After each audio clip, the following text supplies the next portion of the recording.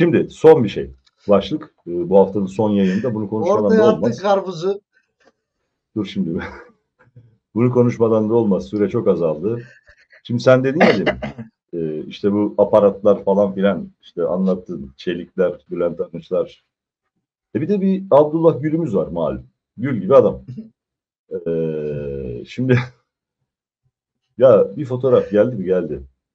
Çok yoktu aşkla bayağı. bakıyorlar yalnız ha. Bayağıdır yoktu biliyorsun ortalıkta. Nerelerde falan ben de merak ediyorum. Neredeydi sayın? Bir kulağım gene ağrıyordu. Neydi?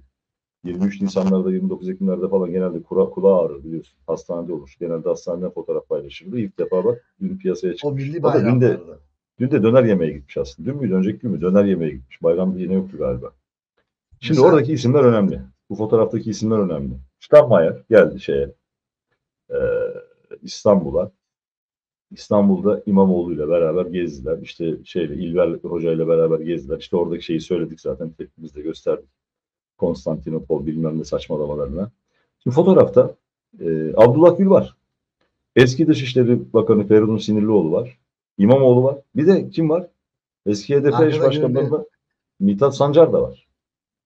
Şimdi bunlar aynı karede. Şimdi yorumlar yapılıyor. Ya şimdi bu Abdullah Gül bayağıdır piyasaya çıkmıyordu. İşte bugün Mahmut Övür de yazmış. Ya diyor arkadaş diyor bu Gül diyor yeniden diyor siyaset aranasında diyor bir garip diyor. Şimdi e, aynı zamanda diyor batılı büyükelçiler işte e, zaten İmamoğlu'yla şeyi seviyorlardı hani görüşmeyi şunu bunu bilmem ne. E, yeni bir siyasi birliktelik arayışı mı var acaba diyor. Şimdi hani e, ben diyor bir dostumla sohbet ettim diyor. Pek de ciddiye almadım aslında önce diyor ama demiş ki dostum Mahmut Övür'e. Şunu bir yere not et ya da satır arası yaz. Abdullah Gül siyasete dönebilir. Yakında piyasada görürsen şaşırma. Tam ona göre bir ortam var. Hiç kaçırmaz. Vallahi doğru. Ben de öyle düşünüyorum.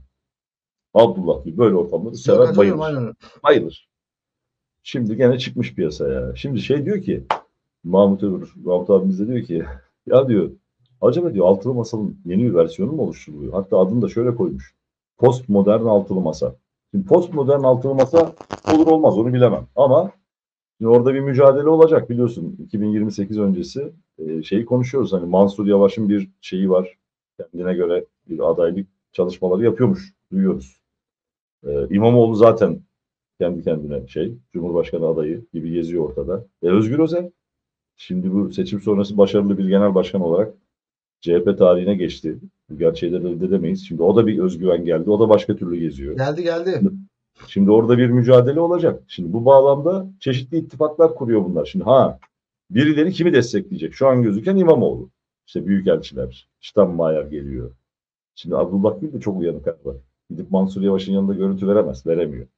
Ne bileyim Özgür Özel'in yanında veremiyor. Kimin yanında? Git bak diyor. O şimdi hesabı yapmıştır. Ya bir dakika ya diyor. Şimdi ben diyor kraliçe de öldü ama diyor. Öbürlerine soralım. Londra'ya bir sormuştur o.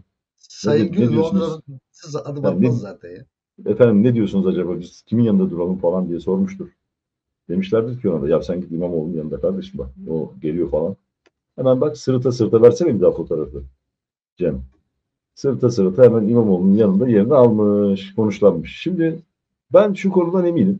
Gül dönmek ister. Ortam tam ona göre hakikaten.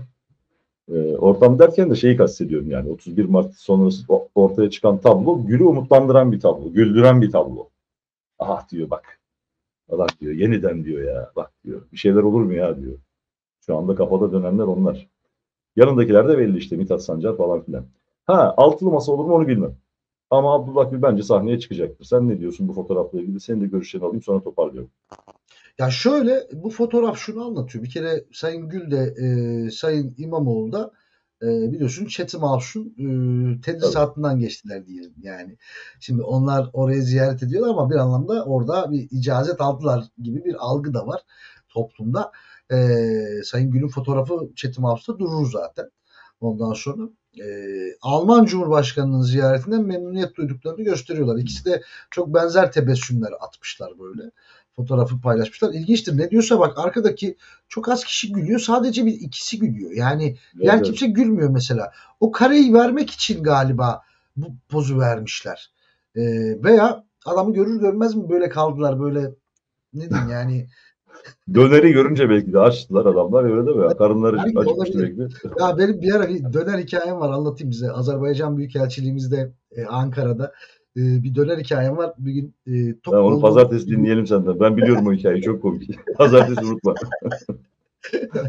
Ondan sonra e, anlatayım size. Ya belki de dediğin gibi çok açlardı. Döneri görünce bir güldüler, tebessüm ettiler. Ondan sonra velhasıl kelam olay şu gibi gözüküyor. Altılı masa e, altılı masa zaten e, kişiler önemli değil. Altılı masa deyim yerindeyse ruhu devam ediyor. Altılı masanın ruhu ne? Türkiye'yi yeniden Atlantik politikalarının e, eksenine çekmek. Yani Amerika otur dediğinde oturacağız, kalk dediğinde kalkacağız. Silah üretme dediğinde silah üretmeyeceğiz. TOG'un üretimini durdur dediğimizde dediklerinde durduracağız falan. Karabağ'dan çık, Karabağ desteği kes, Ermenilere geri verdiğinde vereceğiz. Velhasıl kelam altılı masa ruhu bu. Şimdi Evet. bu ruh dün Kemal Kılıçdaroğlu olmuştur. Yarın Ekrem İmamoğlu olur. Öbür gün başka biri gelir Mansur Yavaş olur falan. Yani e, Abdullah Gül gelir. E, devam eder. O yüzden ben Mahmut abinin yazısı önemli diyorum. Yani e, güzel yazmış postmodern altılı masa. Evet o ruhla devam ediyorlar. Yeni bir program falan yok. Türkiye'nin teslimiyeti üzerine e, yeni bir isim, yeni kadro. Ta, yani şeye benziyor. Takım şampiyon olamadı. Hop yeni kadroyu değiştirelim ama takım ismi aynı. Sen ruhu Ee, devam ediyor dedi ya. He. Heh. Ruhu devam ediyor dedi ya. Şimdi e, büyük başlar masaya oturmuşlar o zaman. Ruh çağırıyorlar. Ruh çağırıyorlar belki. Masaya ruh çağırıyorlar. Ey altılı masa. Sesimi duyuyorsan bir işaret ver. Demiş. Oradan Yok, onlar şöyle- çıkıyor sırıtıyor işareti veriyor. Altılı masa diye değildir. O masada ey Amerika, ey İngiltere, ey Almanya bize desteğinizi verin diye. Geldiysen üç defa vur diye bak gelmiş adam e, gelince de mutlu olmuşlar. Ekrem Evet, İmamoğlu da e, Abdullah Gül gülerek bakıyor. Aynen öyle.